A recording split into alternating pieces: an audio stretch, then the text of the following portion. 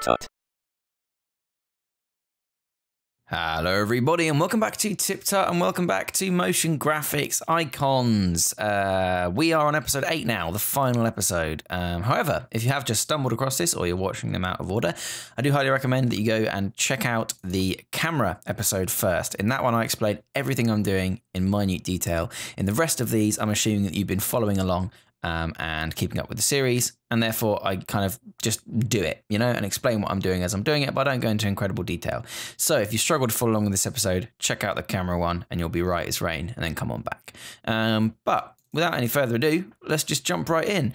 Last time we did the aeroplane, we've done everything now apart from the sunglasses. So let's take a quick glance over what we've done already.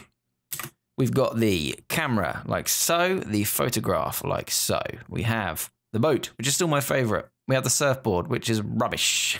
we have the suitcase. Uh, we have the cocktail. And last time we did the aeroplane. Um, I'm out of love with the surfboard. It's rubbish. I don't want to do it anymore. Um, but hey, seven out of eight that I'm happy with. That ain't bad. Let's do it. Okay, I'm just going to cut off these layers before they get in our way. Um, give them a little bit of time. Give them, uh, that should do. Cut them off there and grab our simple icons to JPEG. You can get these JPEGs from my websites that you guys can follow along.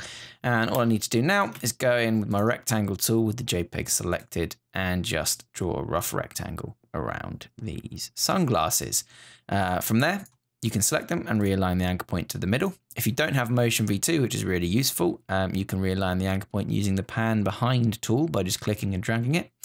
I'm then going to open square bracket to position it at my playhead. I'm going to hit P to bring up the position function, and I'm going to go 960 by 540, which is the center of a 1080p composition. Lovely, let's go. Um, what we need to do, first of all, is to trace this image using shape layers and build each section individually. Now you could pull this in from Illustrator, like I've said many times before. However, um, it's best not to because what it does if you do it manually is it allows you to think about how that particular item is constructed and how best it would be animated because you physically have to think about how to build it. Okay, for example, each of these lenses is going to be a separate shape. So is the bridge, so is the arms. You know, if you built it in Illustrator and brought it straight in, you might not um, have built each uh, section individually. You know, um, it won't be best optimized for animation, which is what we need it to be now. So all I'm going to be doing is going through and tracing this image. So I've got one lens here. We'll call this one lens left. I can duplicate that straight away and make it lens right. Like so. I can duplicate both of those, put them below the other two, shift them along a little bit, shift them down a little bit, and get rid of their stroke by alt clicking this thumbnail up here. Um, if I then shift them away just a little bit more, I can replace their fill with underneath like this and bring them into position. There we go. We're nearly halfway done with this one already. Um, the nose bridge then, I'm going to create using a circle, which might seem counterintuitive, but it will make sense later. I'm actually just going to duplicate this lens left, call it bridge, put them underneath everything like this, okay? And then bring it over like so. I'm then going to hide, for now, the two lenses underneath. With this selected, uh, I'm then going to open this up and add a trim path to it. What this allows me to do is choose the start point, which is going to be in the middle there, you can see. So I can adjust that start point until it's behind that first bridge there and adjust the endpoint so that it is covering that second lens. And now this bridge is animated uh, ready to be animated essentially. So I could do it with a single line, but as it's a circle, it's a bit easier to do. Um, let's bring those two back in and let's draw the two um, arms. So we're going to need a shape here. Make sure I've got no layer selected. Going to need a path coming up like this, which looks good enough, apart from it is a fill, which we don't want. We want a stroke. Okie dokie open square bracket pushes that um, to the playhead. I'm going to then duplicate this. First of all, call it arm left. Duplicate that and call it arm right.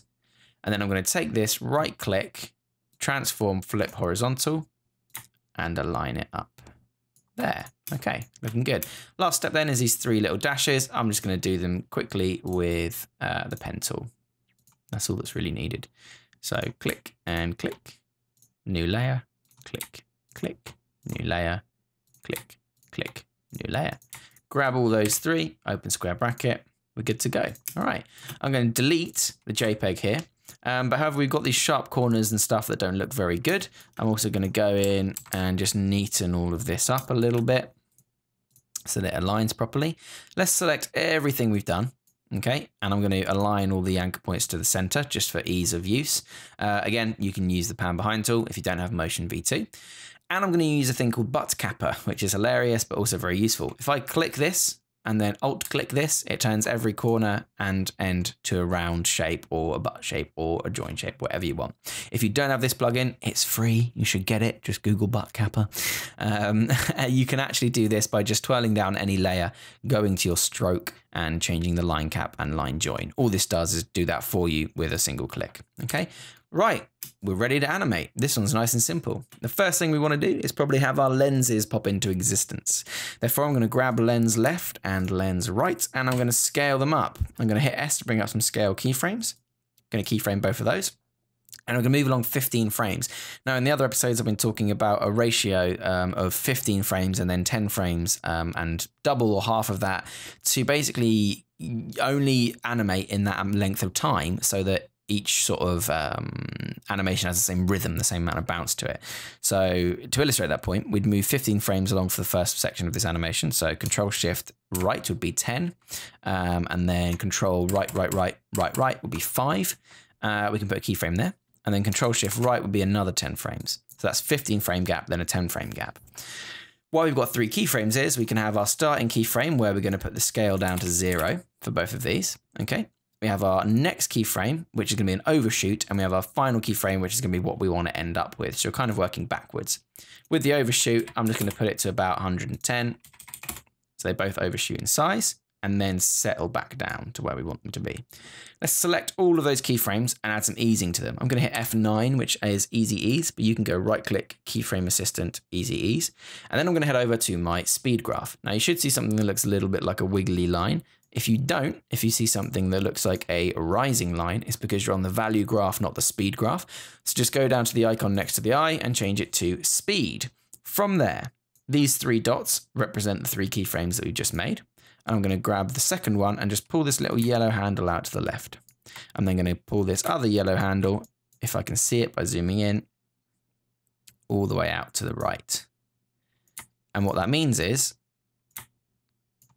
I'm going to have an animation that goes fast to slow and then sucks itself back in a little bit. Okay, you'll see what I mean, like this. So you get that little bit of overshoot. They sort of scale up before they scale back down again, which is nice and simple. From there, I'm going to uh, copy these keyframes and paste them onto the other lens shapes. Okay, so now we've got all four doing the same thing. Now you, I could have just picked them to them. However, then I wouldn't be able to offset. So what I'm actually going to do is offset all of these um, by holding control, pressing right, one, two, three, offset by about three frames. That should be fine. And then press open square bracket on each layer underneath it. So one, two, three, open square bracket, one, two, three, open square bracket. And what that does is it just offsets it a little bit. Which looks pretty good. Happy with that. Um, we now need the bridge to animate over, so that nose bridge there. Probably could do it from here as that starts to settle because of that lens that's covering it. So let's make sure that, that lens just about covers the start and then we'll start animating in that bridge. So we'll take the bridge of the nose and we'll go to our trim path that's already set up. Okay, so contents, trim path, grab our end amount here, move on, say 15 frames, do another keyframe. Go back to that first keyframe here and make it a zero. Okay. In fact, I might make this a 30 frame one. So Alt one, two, three, four, five. That's right button there, right arrow, um, which moves it along a single frame. Alt Shift right moves it along 10 frames. So now there's a 30 frame gap between there. F9 brings up your easy ease. Again, go back to your speed graph and drag that sucker over. And we've got fast to slow. What that means is it grows out, but by the time it reaches the other side, everything's already settled and it just nicely meets up with that, which is all good, which is what we want. Okay, what we need now then is these arm shapes here to sort of fold out of the sunglasses. Um, so we need to wait until our animation is finished, then go and grab both of our arms, left and right, okay? I'm gonna grab the left one and pick whip that over to lens left, and I'm gonna grab the right one and pick whip that over to lens right. What that means is they sort of follow these around, which is all good, yeah? So once these are sort of finished settling in, what we want is these uh, arms to start twisting out. So we're going to grab both of these and we're going to set the anchor points to be bottom left for this one and bottom left for this one as well because it's flipped over. Um, what that means is it's going to rotate on the point where they would actually be joined to the sunglasses. And then we're going to press R to bring up our rotation keyframes. Keyframe both of those. Move along 15 frames. So control shift right and then control one, two, three, four, five. Like so. And then do another 10. Control shift right. Again, we're going to do the overshooting thing that we just learned. Okay, go back to that first keyframe, uh, the second keyframe, sorry, and we're going to overshoot that. So these are going to sort of come in like this and go whoop, boop, and come back again. So we're going to overshoot that by about negative 25. And we're going to do the same thing to this one, but obviously, of course, it'll be positive 25 because we're going the other way. And then on this one, it's going to be 90 degrees and this one's going to be negative 90. Now, the moment these are on top, looks a bit weird, so we'll grab both of those arms and we'll push them all the way underneath everything. Okay, you can still see this line here. So when this comes in like this, it's going to look a bit odd. So what you can do for this one is you can just simply cut off when it starts. So if you go to um, arm right, for example, go to when the keyframe starts, you can just uh, cut it off there. However, this left one, because you can see it, um, you're going to have to trim path it. So therefore, you might as well trim path both of them. Otherwise, it's going to look a bit weird. Okay. So Alt open square bracket on arm left will cut off that layer as well. Okay. Then on either one, it doesn't matter which. Just twirl down, go to add, and hit trim path. Okay.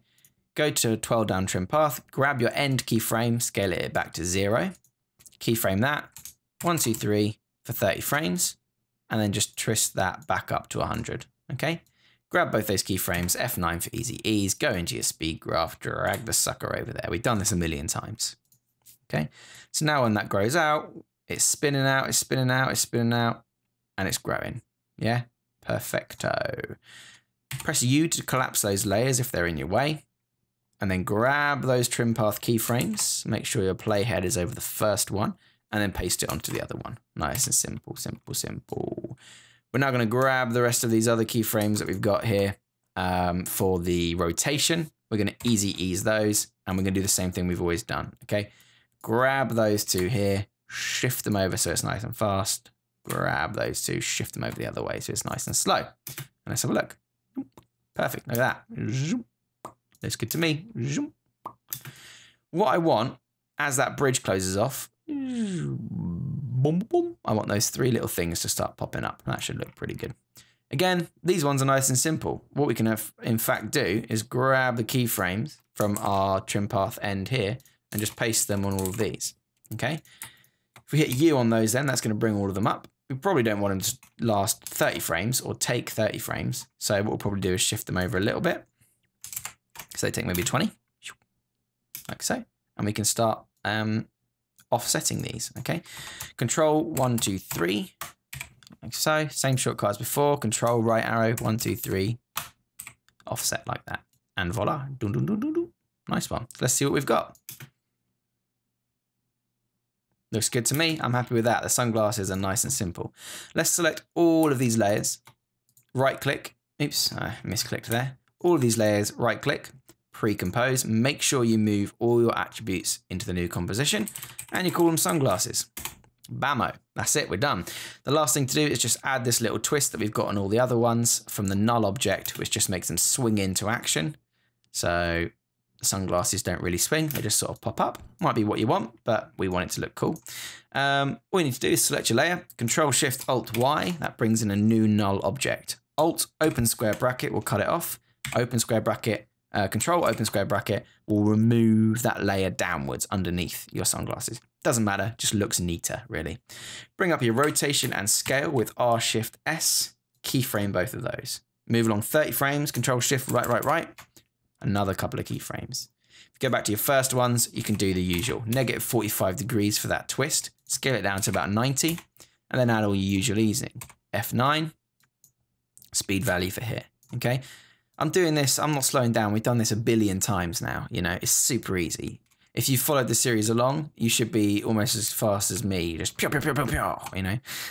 you guys, uh, I don't want to insult you guys by just going slowly all the time, essentially.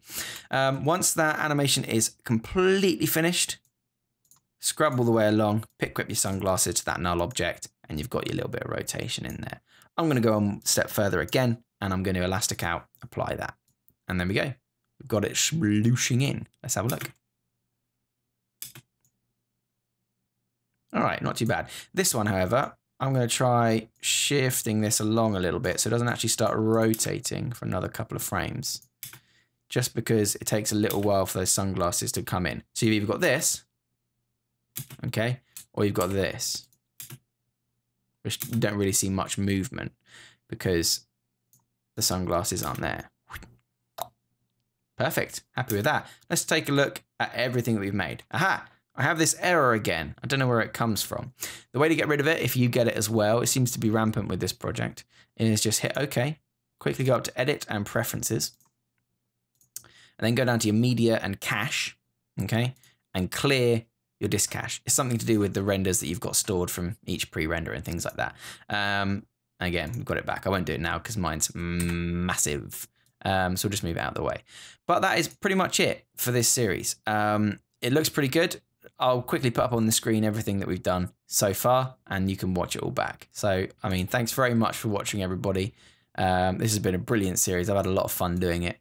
Um, if you want to see more of this sort of thing, let me know. Um, if you don't, if you think it was boring, also let me know. I want to know what you guys are actually interested in. Um, hopefully you did enjoy it though. I enjoyed making it. If you haven't checked out the other episodes yet, please do so. There's eight in total. There should be a playlist on the channel somewhere. Um, and hopefully you guys can have a bit of fun making some motion graphics. Again, you can get all the assets and stuff from my website. So thank you very much, everyone. I really appreciate you guys sticking around. I know this was a long series.